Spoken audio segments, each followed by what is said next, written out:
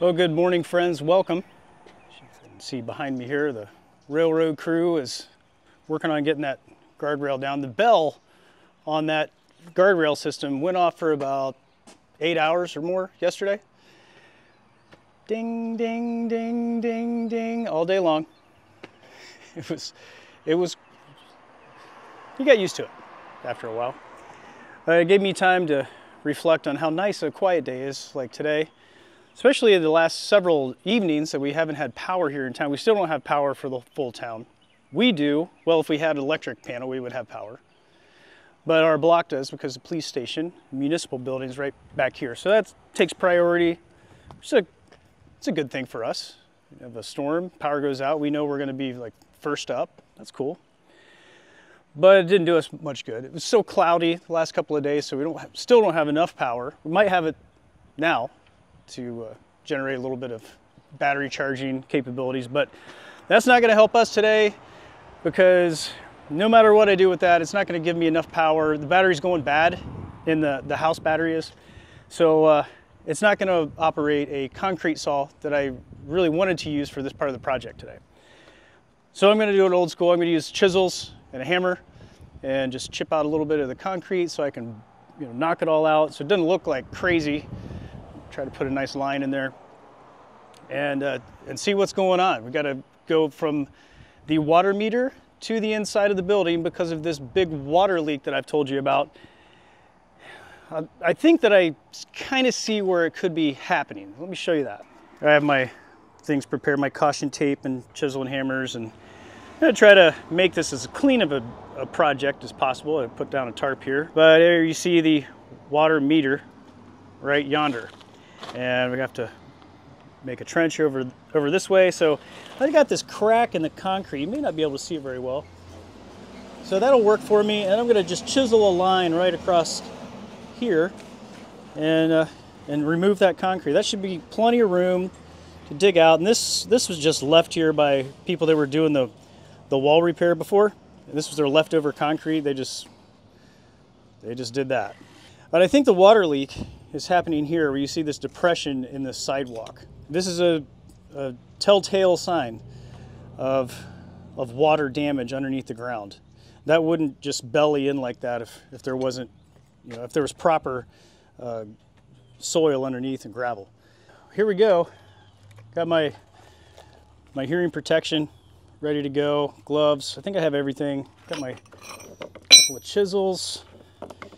Uh huh. I think we're ready to start.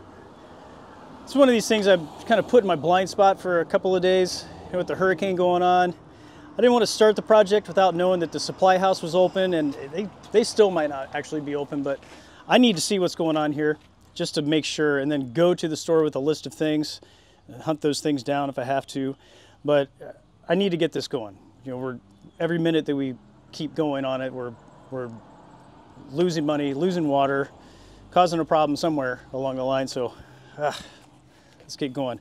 Luckily, my hearing protection includes uh, Bluetooth, so I got my Grateful Dead playing. So they, they got it working over there. All right. I don't have an actual heavy duty sledgehammer. I used to. I don't know what happened to that thing. Yeah.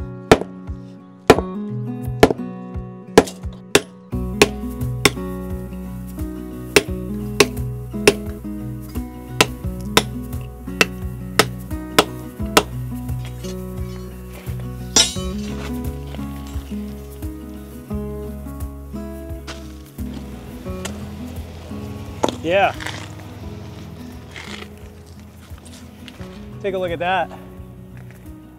See where the, there's joints in there purposely made. It wasn't just thrown in. So it tells me that this was this was a brick sidewalk or I'm digging up part of the brick street. It used to be here.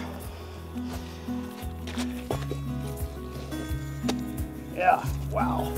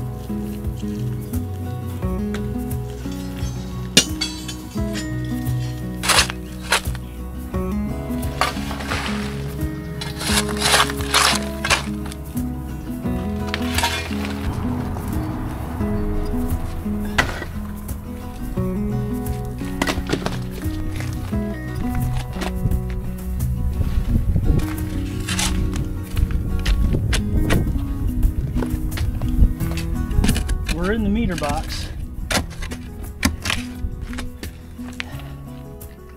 Yeah, I think we're gonna have to take that whole meter box out of there for sure. I don't think there's any other way to access it. Whew. Beautiful day. Glad it's not too hot. I feel like I'm 150 degrees right now. Probably only about 70, 75 out here. Pretty quiet except for the sound of chainsaws cleaning up stuff. A huge pile across the street here. I don't think they have power yet. But somebody's been working over there for a couple of days. Just got the train tracks are working. Train went by. It was nice to see. And here, blew the horn a couple times. Whew, buddy. More to go. Let me show you what's going on down here. I see here is the elbow. It's 90 degrees coming out and turning and just going that way. And we're gonna have to take out this whole thing to access any of that. That's a pretty big pipe and to be able to get a wrench in there to loosen that up, well, yeah, I need a little bit of room. I saved you a lot of a lot of hassle watching me dig this entire hole and a lot of adult words that uh, you know I was trying to keep under my breath. But here's what we got so far. We've opened things up quite a bit here. I've got all the way down as deep as I want to go and really good news there is the bottom of the foundation. I'm going to be able to go straight underneath that and up inside. That's going to prevent any kind of freezing possibilities if the pipe had to go on the outside, which was maybe something we were going to have to do, but not now. So that's that's a really good thing. Now I've already called 811. I made sure that all the lines were marked out so I wasn't going to dig into anything, just in case you're wondering. And I also have called the county water department a, a, couple of times to come out and just make sure that I was looking at the right thing and get the right direction. So I did get the go-ahead from the the town here or the village and from the water department to do what I needed to do to get this thing get this thing connected up. So well here we go. I'm gonna have to take this whole meter box out of here and put it back in just the way I found it. Whew. It's not so bad. Not so bad of a job. This can here is a steel casing. It's not going to get damaged probably no matter what I do. It's meant to drive over with big trucks and stuff, but I don't want to damage too much of the surrounding area. I want it to be stable when we put it back in, so I don't think it's going to be a problem. But I want to be a little bit gingerly, and also the fact that the van is sitting right on top of it, you might wonder, well, just why don't you move the van? Well, it's a little complicated because the the trailer's on it, and I could situate it a little bit better, but I think we can get it out without moving the van. If not, well, we'll deal with that later.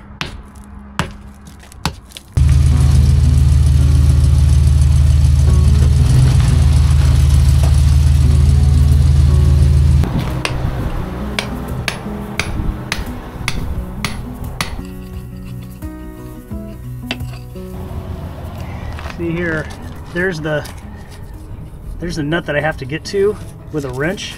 Pretty big one. I have the wrench. There's no way that you could get one in there without taking this whole surround out of there. So that's that's what we're doing.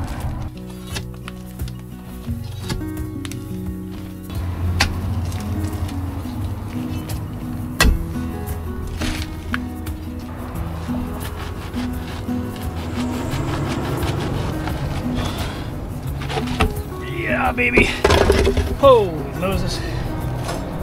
Ooh, it's just simple as that. Wow. okay. Next.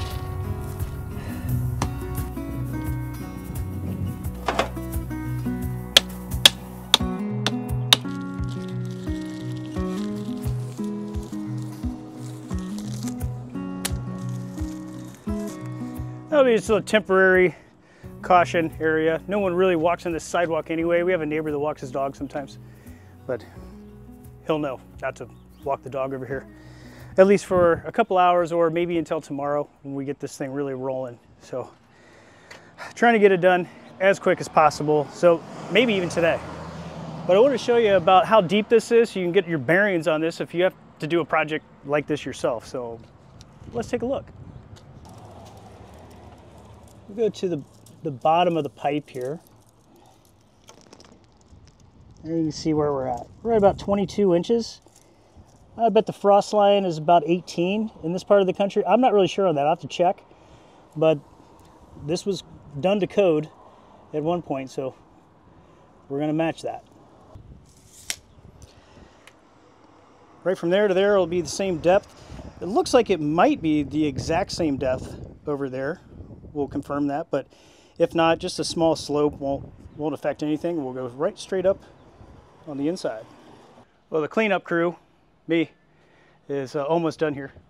So once I finish all that up, then uh, I might go in and enjoy beer and regroup, figure out if I have all the parts and pieces for this thing. I really hope I do because the supply house, although it's not as far away as some of the other places, it's still about a 30 minute drive. And as I explained before, the parts and pieces for this size is, is very expensive. So I want to be precise on what I need and not buy extra stuff and waste any time or money going back to return things. So I want to know exactly what I need before I go. That's, that's the goal every time, but that doesn't always happen. Hopefully it does this time.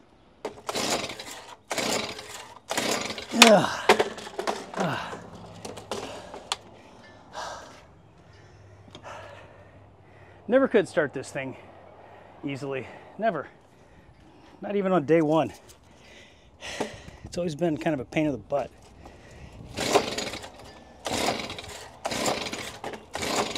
Oh, well. Well, cleanup crew will get to it eventually. Whew.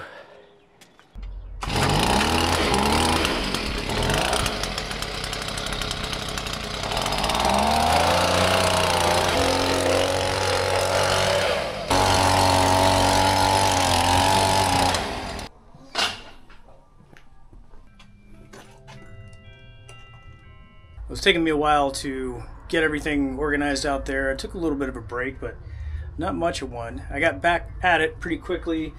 I had to do a little bit of work down here. This is the, I'm in the outdoor shower area underneath the stairs where the water originally came into the building. I'll show you down here what I'm looking at. I showed this in a previous video, but in case you didn't see that, this pipe right here is a galvanized pipe that goes used to go about eight feet straight up in the air and then entered the building up there yonder. Well, I didn't want that thing in the way, so we just cut that. I put a union here and a disconnect. So we, well, that's a union, but uh, that's so we could take it apart in case there was a problem, like now. And in the process of that, I noticed that there was some water intrusion. There was a big wet spot in the what might be a bathroom in the future on the concrete floor. So uh, I wanted to make sure that this was sealed up properly. I'm going to stucco this wall. Then we'll hopefully be able to take this apart.